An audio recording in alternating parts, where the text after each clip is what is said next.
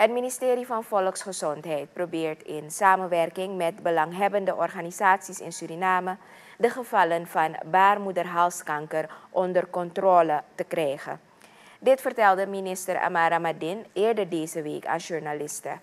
Volgens de bewindsman wordt al een tijdje aan de weg getimmerd door preventieve voorlichting te geven.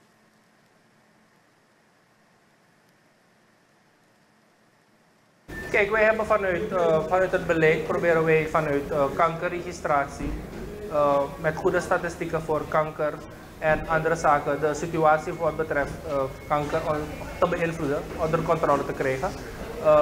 baarmoederhalskanker staat bekend als de silent killer, waarbij je eigenlijk langdurig geen klachten kan hebben, hoeft te hebben, voordat je in principe um, ziek wordt of ziekteverschijnselen vertoont. Maar nog steeds geldt dat wij werken aan kankerregistratie, een landelijk screeningsprogramma. We zijn bezig met de deskundigen om dat goed in place te hebben. Het gaat niet makkelijk, want ook de verzekering, verzekeraars spelen een rol hierin. De overheid moet inkomen, het moet een richtig protocol zijn. En uiteraard de eindusers, dus de, vrouwen in deze moeten ook uh, de nodige motivatie incentives krijgen om ook te gaan screenen proactief. De minister zegt dat er programma's opgezet moeten worden, zoals in het buitenland, waarbij speciale screenings voor vrouwen worden georganiseerd.